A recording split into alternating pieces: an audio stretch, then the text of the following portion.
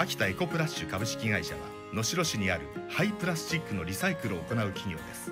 秋田県内外の家庭や事業所から集められたプラスチック製の容器や包装材などの廃棄物をリサイクルして有効活用し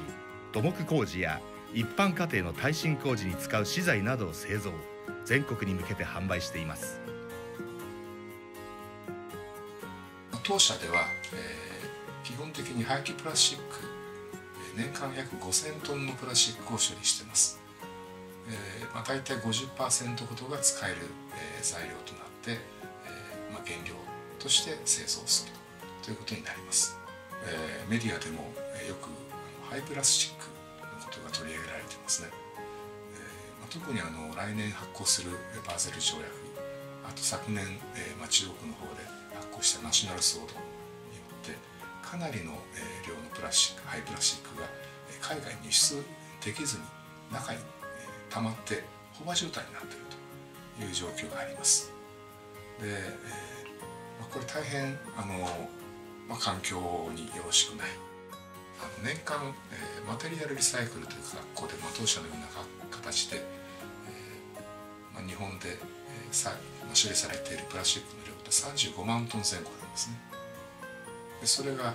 来年のパーセル条約で、90万トンが表に出せなくなって帰ってくる。で国内で全くそれを処理できる、えー、施設的な能力不足してるわけです、えーと、まず、えー、家庭から排出されたプラスチックが、えーまあ、各自治体のリサイクルセンターで集められてベール状態で、えー、搬入されることになります。で、まあ、それが、ま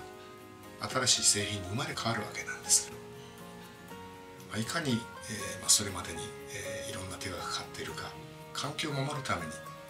ーまあ、どれだけこういろんなところでいろんな人が力を入れているのかっていうのを知っていただけるとありがたいと思います。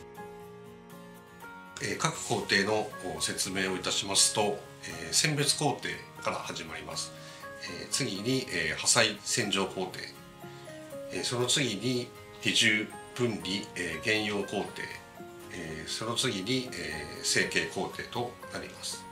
選別工程では廃プラスチックの原料から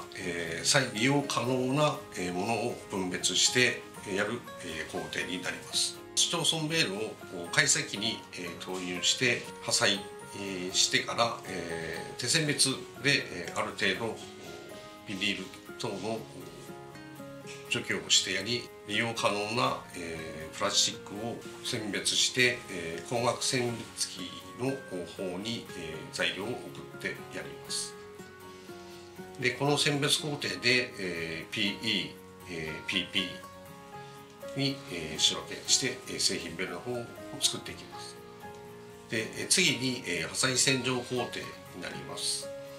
破砕洗浄工程は、えー、製品ベールを破砕して、え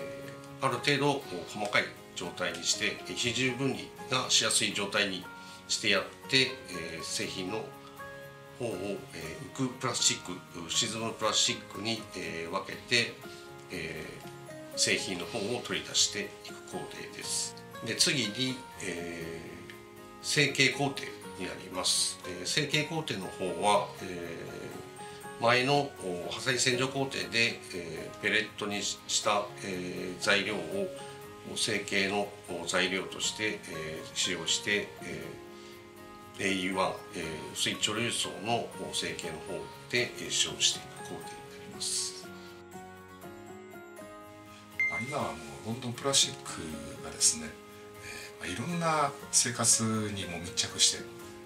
プラスチックの種類だけでも何百種類とある。と、まあ、しかも、えー、いろんな複合素材が増えてまして。